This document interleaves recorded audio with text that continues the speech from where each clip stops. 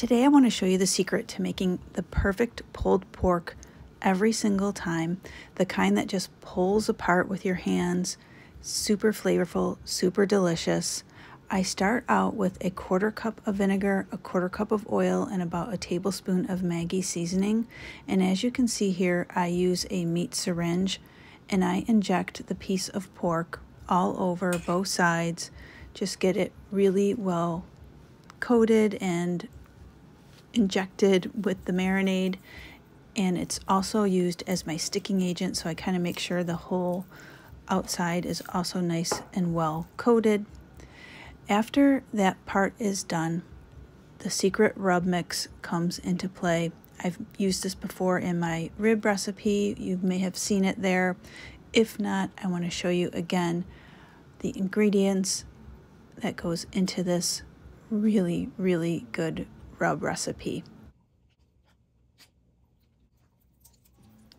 Into a bowl, combine brown sugar, paprika, kosher salt, and black pepper, ground cumin, mustard powder, onion powder, garlic powder, and a little bit of cayenne pepper.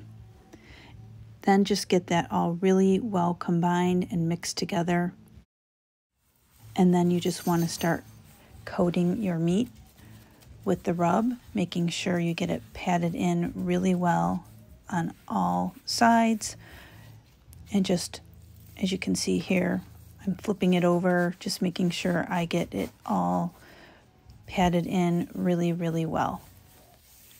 Also, if you are liking this video, please consider giving it a thumbs up and subscribing to my channel. It's free.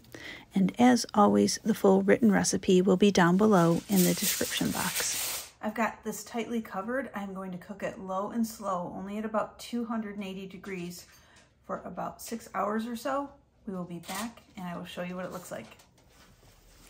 And here you go, my friends. This is so easy, yet so, so delicious pull apart, super tender. And then as I pull it apart, I just put the pieces back in the juices that are surrounding and in the roasting pan there, as you can see. This is just so, so good. You can put these on buns and make super delicious pulled pork sandwiches or just eat it on its own. It's super versatile. You can make tacos with it. A lot of different things you can do with this wonderful pulled pork recipe. As always, I highly, highly recommend it, and I hope you give it a try. I think you all are going to absolutely love it. This is a great recipe for a big crowd, or you can take portions of this and freeze it. It freezes up really, really well. I'm just ladling over some more of the juices just to take it to the next level. Look at this super delicious. I just want to say thanks for joining me in my kitchen today. I hope you enjoyed it. Can't wait to see you next time.